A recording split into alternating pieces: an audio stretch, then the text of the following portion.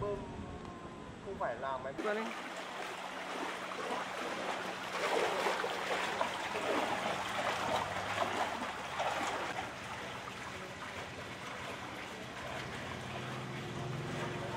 cắm điện này làm kỹ bơm đây đây. Chỗ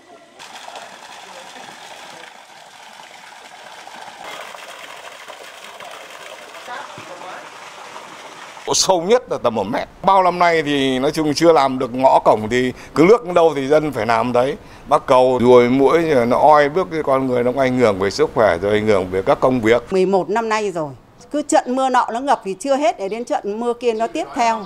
Hiện tại trong nhà nhà tôi là 50 phân. Mấy cả dưới bếp, tất cả là phải ngừng hết tất cả. Sinh hoạt thì bây giờ là 6 7 người là ở một phòng. Không có chỗ ngủ thì thôi thì đành phải làm đất làm sàn thôi. Ăn uống thì là nước sinh hoạt không có. À, đây xe xe tôi tôi chúng tôi phải nhờ vào một cái ngõ này tối để xe dọc từ đường đến đây. Ngay trong nhà nhờ một cái miếng đất này chưa làm nhà để xe cho ngoài kia chứ làm sao ra được. Cống lên bên kia là ờ, nước thải nó đổ hết ra kia. Sâu nhất thì nó đến bụng. Lâu lắm này phải tầm ờ, nếu mà không mưa ấy, thì ít phải hai tuần thì nó mới, mới xe nó mới đi qua được còn đâu nó vẫn ngập phải ờ, lần giết các thứ. Hôm kia là ngập đến đây. Bây giờ là các em ấy qua hàng xóm láng giềng là cứ bơm hộ. Mấy năm nay dòng dã như thế này, bây giờ chưa đến mùa bão mà đã thế này rồi.